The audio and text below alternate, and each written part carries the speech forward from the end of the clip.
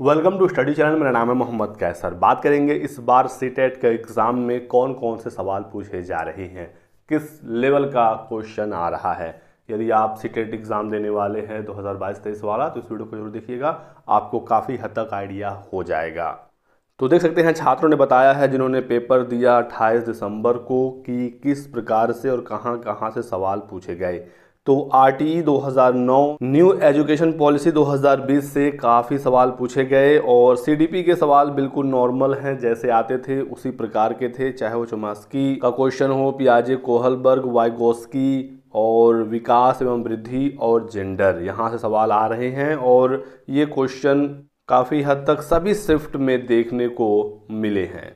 वहीं पर बात करें पर्यावरण अध्ययन से पूछे गए सवालों की मधुबनी पेंटिंग से सवाल हैं विटामिन सी से संबंधित क्वेश्चन पूछे जा रहे हैं। आप लोग इन टॉपिक्स को ज़रूर प्रिपेयर करके जाइए। मोर से संबंधित प्रश्न हैं टाइगर संबंधित प्रश्न, सामाजिक कीट, घर से संबंधित, हाथी से संबंधित मेंडल से संबंधित, अनुवांशिकता और अंजेब से संबंधित, और जो पेडागोजिकल सवाल हैं ईवीएस वाले, ये पूछे गए हैं। देख सकते हैं न्यूज़पेपर में भी इस संबंध में खबरें निकल कर आई हैं कि बाल विकास तो आसान रहा। बाल विकास जैसा आता था वैसा ही रहा, लेकिन जिनका अंग्रेज़ी था, ऐसे छात्र काफ़ी उलझे क्योंकि काफ़ी ट्रिकी क्वेश्चन इस बार इंग्लिश के पूछे गए थे। बाकी सब्जेक्ट नॉर्मल थे, जिस प्रकार पिछली बार पेपर हुआ था। हालाँकि उससे पहले जब ऑफलाइन एग्ज़ाम होते थे तो पैटर्न बिल्कुल फिक्स था और क्वेश्चन और भी ज़्यादा इजी हुआ करते थे। पिछली बार से पेपर के लेवल में उछाल देखने को मिला है, लेकिन पिछली बार जो ऑनलाइन एग्ज़ाम था और इस बार का एग्ज़ाम है, इसमें लेवल जो है वो बिल्कुल सेम ही दिख रहा है।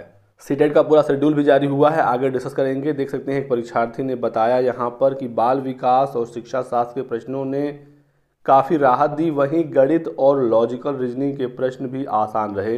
अंग्रेज़ी भाषा ने उलझाया तो अंग्रेज़ी को लेकर काफ़ी छात्रों ने यहाँ पर जानकारी दी है।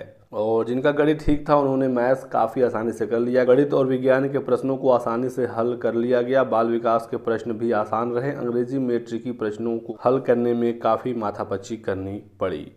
तो सीटेट का एग्ज़ाम शुरू हो चुका है। लास्ट पेपर सात फरवरी तक जा रहा है। आप लोग पिछले साल के पेपर को ज़रूर हल करके एग्ज़ाम में जाइए, क्योंकि उससे आपको काफ़ी हद तक फ़ायदा मिलेगा।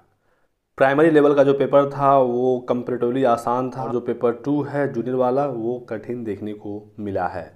तार्किक प्रश्न इस बार काफ़ी पूछे जा रहे हैं, इसकी प्रैक्टिस आप लोग ज़रूर करके जाइएगा।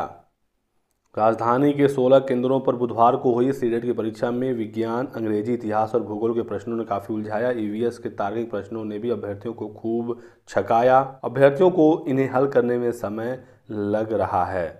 यहाँ पर देखिए, कुछ छात्रों ने जानकारी दी है। पहली पाली में प्राइमरी के प्रश्न पत्र में ईवीएस के प्रश्न हल करने में खासा परेशानी हुई। रीजनिंग पर आधारित प्रश्न काफ़ी उलझाऊ थे। हल करने में काफ़ी समय लगा।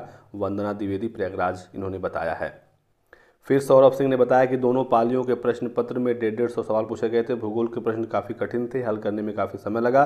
फिर यहाँ पर देखिए एसएसटी के सवालों ने उलझाया। तो पेपर टू का जो एसएसटी था, वो काफ़ी कठिन आया इस बार। तो आप लोग इसका ध्यान रखिएगा। और सोशल साइंस के प्रश्न घुमावदार थे यहाँ पर। फिर एक छात्र ने बताया है, और कई छात्रों के प्रश्न ऑनलाइन एग्ज़ाम होने की वजह से भी छूट गए तो आप लोग एक बार ऑनलाइन एग्ज़ाम की प्रैक्टिस ज़रूर करके जाइएगा। पैराग्राफ को ज़रूर प्रैक्टिस करके जाइए, किस तरीके से आपको आंसर निकालने हैं और कैसे जल्दी से आंसर निकालने हैं, क्योंकि दोनों भाषाओं में दो दो पैसे पूछे जाते हैं और पंद्रह पंद्रह सवाल आपको पैसे से देखने को मिलते हैं तो प्रैक्टिस ज़रूर करके जाएँ। देखते हैं एग्ज़ाम का शेड्यूल जो सीबीएसई e ने ऐलान कर दिया है।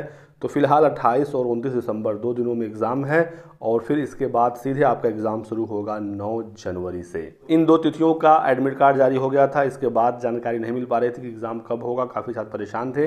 तो आगे के सभी शेड्यूल जारी हो गए हैं। 9 जनवरी 10 जनवरी 11 12 13 तक लगातार एग्ज़ाम है। उसके बाद फिर 17 18 19 20 फिर यहाँ पर गैप है और तेईस जनवरी से फिर एग्ज़ाम शुरू होंगे। इस तरीके से एग्ज़ाम आपका होगा और लास्ट पेपर सात फरवरी को कराया जाएगा।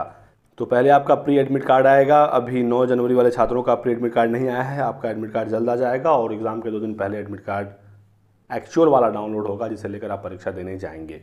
तो ये रहा दोस्तों आज के वीडियो में कुछ महत्वपूर्ण अपडेट्स सी टेट से संबंधित वीडियो को लाइक और चैनल को सब्सक्राइब कर दीजिएगा ताकि आपको इसी प्रकार की सभी लेटेस्ट और ऑथेंटिक इन्फॉर्मेशन मिलती रहे। Thanks for watching